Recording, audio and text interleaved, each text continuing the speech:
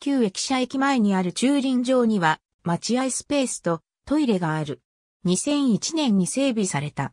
黒山駅は新潟県新潟市北区大田にある東日本旅客鉄道、日本貨物鉄道白新線の駅である。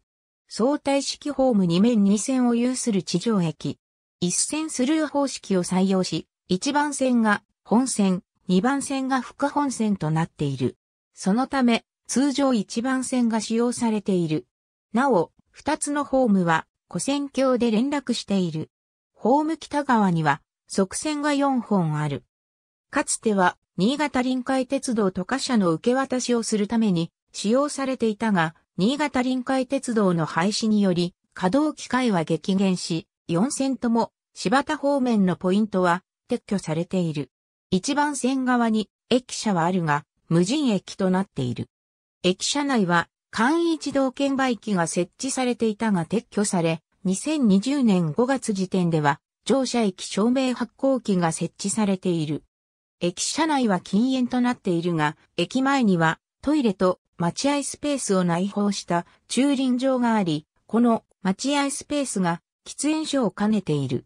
簡易 Suica改札機が入場・出場各1台設置されている。新潟駅管理の無人駅。JR 貨物の駅は臨時車扱い貨物の取扱い駅となっており、定期貨物列車の発着はなくなっている。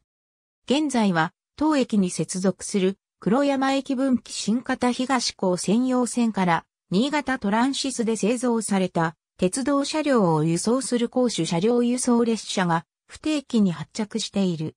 新潟市統計所によると、2010年度までの年間乗車人員の推移は以下の通りである。なお、新潟市合併前の2004年度以前のデータは非公表となっている。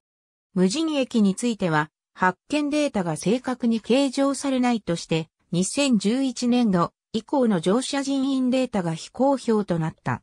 駅周辺は古くからの農村型住宅地である。ありがとうございます。